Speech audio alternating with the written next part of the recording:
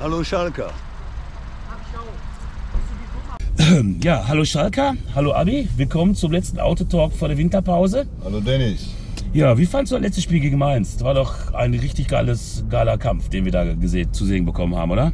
Ja, das ist ja das, wenn du kämpfst, Dennis, dann äh, wirst du auch Spiele gewinnen. Und das habe ich ja immer gesagt. Also über den Kampf zum Spiel und dann kommt das Glück auch wieder. Und Glück braucht man im Fußball. Ja? Wenn man kein Glück hat im Fußball, dann ist es schwierig, Spiele zu gewinnen. Und äh, ja, ich fand das Spiel sehr gut. Unsere Jungs haben richtig gut gekämpft, gut gespielt im Mittelfeld. Auch Kral war für mich überragend gewesen. Überragend, muss ich wirklich sagen. Habe ich schon lange nicht mehr gesehen, dass der einer so viel Gas gibt im Mittelfeld. Und da müssen sich einige Jungs auch ein bisschen, äh, den mal ein bisschen angucken, weil der will gewinnen, das sieht man. Aber ich habe auch das Gefühl gehabt, dass sie am, gegen Mainz alle gewinnen wollten. Und deswegen haben wir das Spiel auch eingefahren. Ja, waren auch ein paar Chancen dabei ne? und auch einige ganz hochkarätige. Natürlich.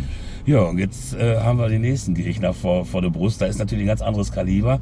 Die Bayern kommen zu uns, neun Spiele in Serie gewonnen. Ähm, ja, und wir jetzt gegen Mainz. Und unser Trainer, der Reis, hat ja schon mal die Bayern in dieser Saison bezwungen, allerdings mit dem VfL Bochum. Meinst du, äh, wer hat wieder so ein glückliches Händchen und wir können den Bayern hier ein Schnippchen schlagen? Ja, auf jeden Fall weiß er, wie man Bayern schlägt, das ist schon mal klar. Ja. Sonst hätte er die ja mit Bochum nicht geschafft. Und äh, das ist natürlich auch schon ein kleiner Vorteil für unsere ganze Truppe. Den kann also schon mal sagen, Jungs, wir haben das so und so gemacht.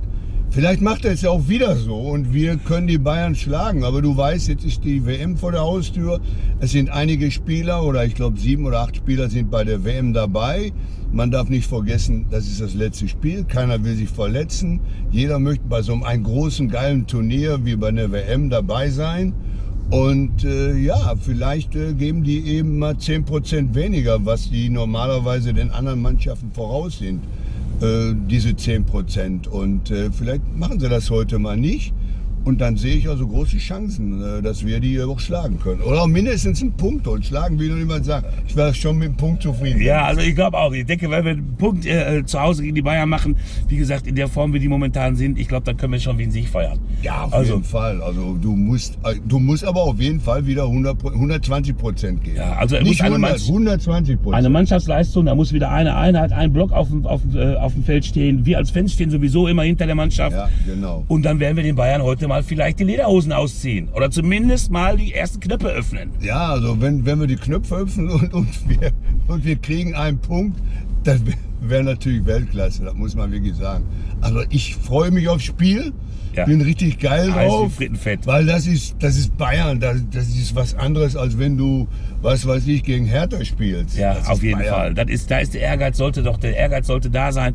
Wie gesagt, äh, unser Trainer wird die Mannschaft auch hoffentlich in der Kabine super einstellen. Und dann werden wir ein tolles Spiel sehen und vielleicht auch ein paar Punkte einfahren gegen die Bayern. So ist es denn. Dann wünsche ich uns ein schönes Spiel, Abi.